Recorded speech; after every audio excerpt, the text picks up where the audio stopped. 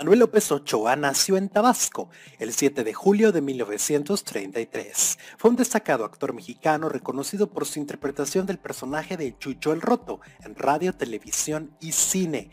Nació en el pequeño poblado de Tomo Largo en Tabasco, hijo único a los ocho años se queda sin padre, desde temprana edad debió trabajar en el campo ordeñando vacas, sembrando maíz, durante 1954, un día que caminaba por la calle Sainz, cuando se estaba instalando la XE Primera emisora comercial de radio en su estado, conoce al gerente, Aldo Eros Mancini, quien le ofrece trabajo como afanador para las oficinas de la estación de radio.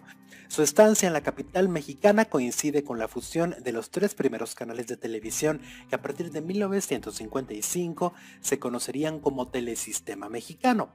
Transcurrieron largos meses antes de que el señor Emilio Escarraga Milmo lo apoyara para entrar a formar parte del cuadro de locutores, entre los que se contaba Pedro Ferri Santa Cruz, León Michel, Genaro Moreno, Ángel Fernández y varios más. Modifica su acento regional y modula su voz.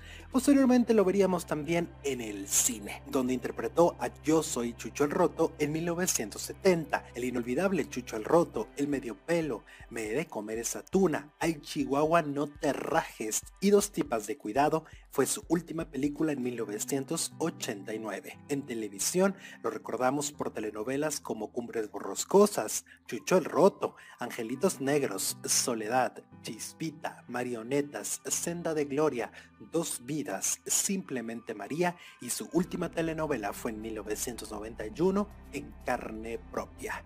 El actor y locutor mexicano Manuel López Ochoa, recordado por aquel inolvidable personaje, falleció en Orange, California, el 25 de octubre del 2011, a pesar de que llevaba más de 20 años retirado del mundo del espectáculo. Él desafortunadamente falleció a los 78 años debido a un padecimiento linfático agudo.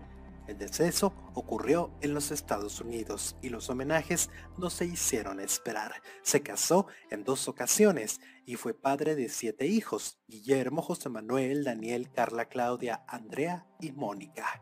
Ahí está, que fue del primer actor, Manuel López Ochoa.